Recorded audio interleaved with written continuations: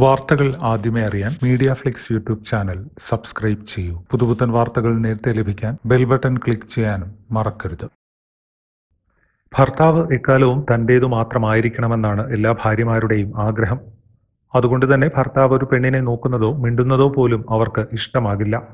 കൊല്ലും കൊലയും വരെ നടന്നേക്കാം. എന്നാലിപ്പോൾ തന്റെ ഭർത്താവിനെ തേടിയെത്തിയ മുൻ കാമുകിക്ക് ഭർത്താവിനെ വിവാഹം ചെയ്തു നൽകിയാണ് ബന്ധുക്കളെ ഭാര്യ ഞെട്ടിച്ചത്. ആന്ധ്രാപ്രദേശിലാണ് സംഭവം. തിരുപ്പതി ഡക്കിളി അംബേദ്കർ നഗർ സ്വദേശി കല്യാണാണ് കഥാനായകൻ. ടിക്ടോക്ക് വഴി പരിചയപ്പെട്ട കടപ്പ സ്വദേശി വിമലയാണ് കല്യാണിന്റെ ഭാര്യ.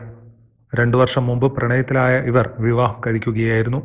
കുറച്ച് ദിവസങ്ങൾക്ക് മുമ്പ് വിമലയെ തേടി വിശാഖപട്ടണത്തു നിന്ന് നിത്യശ്രീ എന്ന യുവതി എത്തി. കല്യാണിന്റെ മുൻ കാമുകിയായിരുന്നു നിത്യശ്രീ.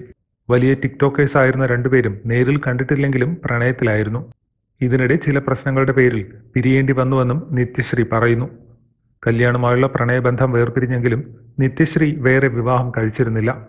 കല്യാൺ വേറെ വിവാഹം കഴിച്ചെന്നറിഞ്ഞിട്ടും കല്യാണിനെ പിരിയാൻ സാധിക്കില്ലെന്ന് നിത്യശ്രീ വിമലയോട് പറഞ്ഞു.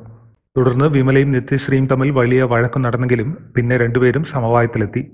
ഒടുവിൽ ഇവരുടെ ഉടഞ്ഞുപോയ ബന്ധത്തെപ്പറ്റി അറിഞ്ഞ് ഇവരുടെ വിവാഹം നടത്താൻ വിമല തീരുമാനിക്കുകയായിരുന്നു. ഇക്കാര്യം വിമല തന്നെയാണ് ഭർത്താവിനോടും ആവശ്യപ്പെട്ടത്. നിത്യശ്രീയെ കണ്ടെന്നും ഇനിയും വിഷമിപ്പിക്കരുതെന്നും തനിക്ക് സങ്കടമൊന്നുമില്ലെന്നും ഭർത്താവിനോട് വിമല പറഞ്ഞു.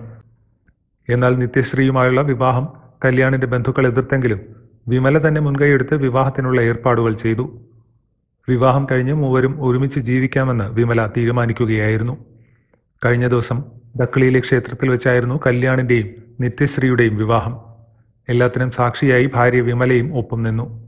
ഒരു വീട്ടിൽ താമസിക്കാനാണ് ഇവരുടെ തീരുമാനം.